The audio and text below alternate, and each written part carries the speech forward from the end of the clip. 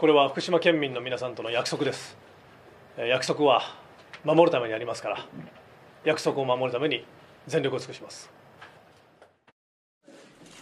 小泉環境大臣はおととい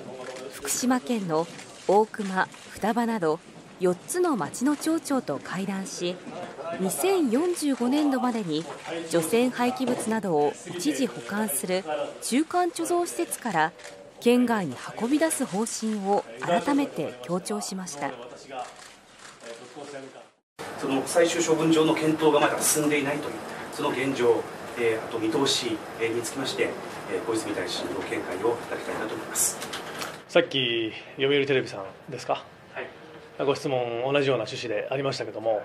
私はこれは福島県民の皆さんとの約束だと思ってます。その約束は守るためにあるものです。全力を尽くします特に。具体的に何かこう今私の中で思っていらっしゃることが30年後ということを考えたときに30年後の自分は何歳かなとあの8歳直後から考えてました。だからこそ私は健康でいられればその30年後の約束を守れるかどうかというそこの節目を私は見届けることができる可能性のある政治家だと思います。だからこそ果たせる責任もあると思うので。どのように実現するのか具体的に問われたのに対しその具体策には言及せず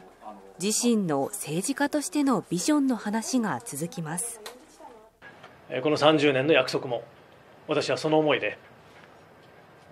ライフワークだと言ってきたことをしっかり形にするために全力を尽くしたいと思いますはい、ありがとうございました。はいこれで小泉環境大臣の会見を終わります。はい、お疲れ様でした。はい、はい。